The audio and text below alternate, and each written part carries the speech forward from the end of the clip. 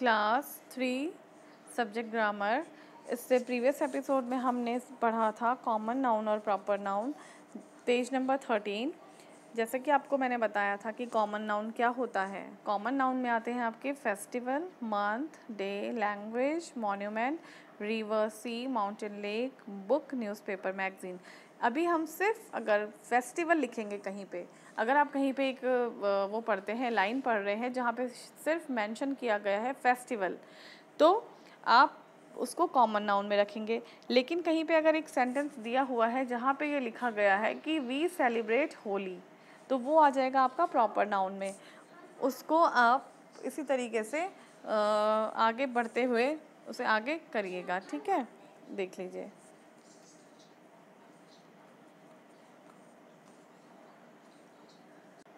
इसी तरीके से देख लीजिए आप, अगर कहीं पे आप ये पढ़ रहे हैं कि सिर्फ़ मंथ लिखा है तो आपको समझ आ जाना चाहिए कि वो कॉमन नाउन की बात हो रही है। लेकिन अगर उसी किसी सेंटेंस में आप देखते हैं कि अप्रैल दिसंबर जनवरी लिखा है तो आप समझ जाइएगा कि वो प्रॉपर नाउन है। तो इसी तरीके से हम एक्सरसाइज में चलते हैं, इसी के नीचे A underline the common nouns in the sentences each sentence has two common nouns one has been done for you नीचे कुछ सेंटेंस दिए गए हैं। इसमें, हर सेंटेंस में दो कॉमन नाउन हैं। हमको उन्हें ढूंढकर अंडरलाइन करना है। तो देख लीजिए। वन पे देखिए। The man is reading a newspaper एक मैन की बात हो रही है। मतलब आदमी एक न्यूज़पेपर पढ़ रहा है। एक आदमी न्यूज़पेपर पढ़ रहा है। तो मैन क्या है? मैन कॉमन नाउन है। और न्यूज़पेपर भी कॉमन है। क्योंकि मैन कोई भी हो सकता है ओल्ड यंग कोई भी हो सकता है। तो हम पहले मैन को अंडरलाइन करेंगे और उसके बाद न्यूज़पेपर तो न्यूज़पेपर की बात हो रही है तो न्यूज़पेपर में अगर हम बोलेंगे, अगर हम किसी न्यूज़पेपर का नाम लेते हैं, जैसे हिंदुस्तान, दैनिक, टाइम्स ऑफ़ इंडिया तो तब वो बन जाएगा प्रॉपर नाउन तो आगे बढ़िए। आगे बढ़ जाइए। टू पे। He goes to office by bus किसी की बात हो रही है कि वो ऑफ़िस जाता है, कैसे जाता है, बस से जाता है तो आप ऑफ़िस को अंडरलाइन करिए, क्योंकि ऑफ़िस भी अलग अलग तरीके के होते हैं। एक ही तरह तो ऑफ़िस होता नहीं है, ऑफ़िस स्कूल में भी होता है, ऑफ़िस बैंक में भी होता है तो ऑफ़िस अलग अलग तरीके के होते हैं। तो ऑफ़िस क्या है? कॉमन नाउन है, इसे आप अंडरलाइन करिए और बस। बस भी अलग अलग तरीके की होती हैं। कोई डीलक्स बस होती है, कोई एसी बस होती है कुछ सिंपली बस होती हैं तो बस भी आपकी कॉमन नाउन है। आगे बढ़िए tree there is a tree beside the house तो इसमें दो कॉमन नाउन है हमारा। फ़र्स्ट है ट्री दूसरा है हाउस ट्री भी अलग अलग तरीके के हो सकते हैं। Mango tree banyan tree peepal tree और हाउस भी अलग अलग तरीके के हो सकते हैं। अभी हाउस बोल रहे हैं तो वो सिर्फ़ कॉमन है। लेकिन जब हम उसको बोल देंगे बिग हाउस स्मॉल हाउस तो वो हो जाएगा प्रॉपर तो दो हो गए हमारे ट्री एंड हाउस फोर पे आ जाइए। A women is standing at the gate एक वुमेन जो है वो गेट पे खड़ी है। वुमेन भी कॉमन है। क्यों? क्योंकि अभी इसलिए कॉमन है क्योंकि किसी भी अगर हम इसमें बोल देते हैं कि ओल्ड वुमेन यंग वुमेन तो ये हो जाएगा प्रॉपर लेकिन हम सिर्फ़ अभी पर्टिकुलर वुमेन बोल रहे हैं तो वो होगा आपका कॉमन नाउन गेट गेट कोई सा भी गेट हो सकता है वो हाउस का गेट हो सकता है स्कूल गेट हो सकता है तो गेट को भी आपने अंडरलाइन करना है. फिफ्थ वाले में देखिए the car went quickly along the road एक कार की बात हो रही है कि कार क्विकली कहाँ गई? रोड पे गई तो कार भी अलग अलग तरीके की हो सकती हैं.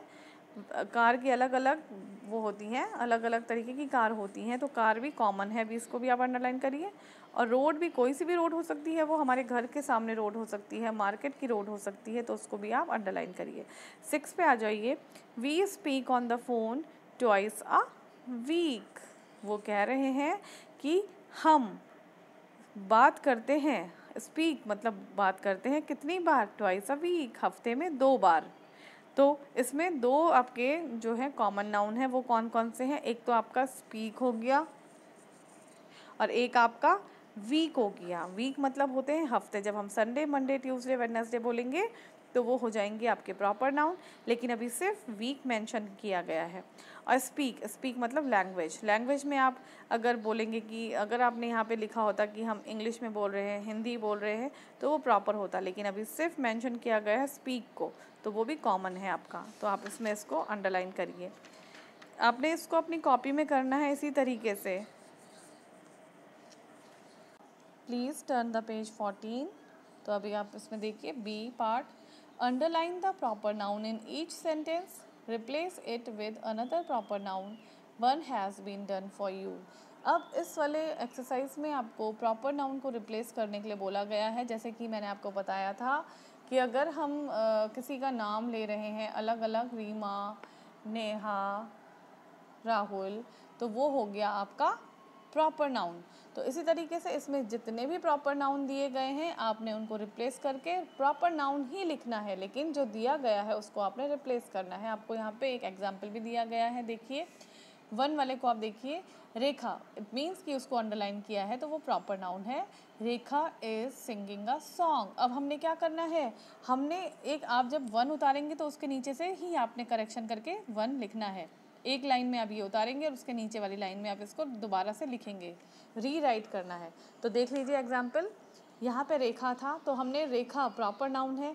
हमने उसको रिप्लेस करना है। हमने उसका नाम चेंज कर दिया, हमने कर दिया Reema is singing a song तो ये हमारा, हमने पहले जो प्रॉपर नाउन दिया था, उसको रिप्लेस करके दूसरा ही प्रॉपर नाउन लिख दिया है।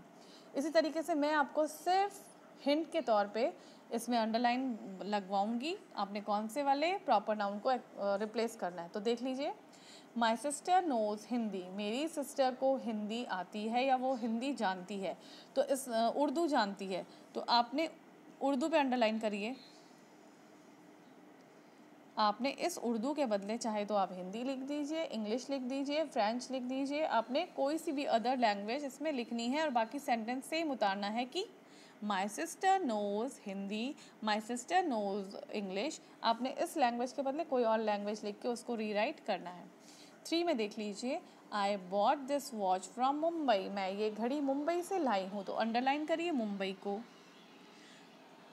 और आपने इस मुंबई को रिप्लेस करके दूसरे किसी भी सिटी का नाम लिखना है, चाहे आप दिल्ली लिखें, कोलकाता, मद्रास, कुछ भी आप लिख सकते हैं तो आपने इसको रिप्लेस करना है। और ये बन जाएगा I bought this watch from Kolkata I bought this watch from Delhi I bought I bought this watch from Dehradun आप इस तरीके से इसको रीराइट करिएगा। फोर पे देख लीजिए। He is working in Iran वो ईरान में काम करता है। तो आप ईरान को अंडरलाइन करिए। और आपने इस ईरान को रिप्लेस करके इराक हो सकता है दुबई हो सकता है लंदन हो सकता है, कोई सी भी कंट्री का नाम लिखना है। फाइव पे देखिए। The Taj Mahal is a famous monument Taj Mahal क्या है? एक प्रॉपर नाउन है। उसको आप अंडरलाइन करिए। उस ताज महल को रिप्लेस करके आपने किसी अदर मोन्यूमेंट का नाम लिखना है। जैसे आपको मैं बताती हूँ कि आप रेड फोर्ट लिख सकते हैं। ठीक है? तो इसी तरीके से अगर आपको कुछ और पता है तो आप वो भी लिख सकते हैं और एक सेंटेंस बन जाएगा। The Red Fort is a famous monument six पे देख लीजिए। माई फ्रेंड सेलिब्रेट्स क्रिसमस मेरा फ्रेंड जो है वो क्रिसमस सेलिब्रेट करता है। तो हम यहाँ पे लिख सकते हैं my friend celebrates Diwali, Holi, Rakshabandhan. तो क्रिसमस को अंडरलाइन कर दीजिए आप। आगे बढ़िए। Seven he did not go to school on Tuesday तो आपने इसमें ट्यूसडे को रिप्लेस करना है और आप यहाँ पे वेटनेसडे लिख सकते हैं थर्सडे लिख सकते हैं, कुछ भी यूज़ कर सकते हैं। एट पे they go to Bengaluru every summer अब हमने इस बेंगलुरु को चेंज करना है और हमने समर को भी चेंज करना है। तो ये हमारा नया सेंटेंस बन जाएगा। They go to Goa every winter ठीक है? तो इस तरीके से आपने इसको अपनी कॉपी में करना है।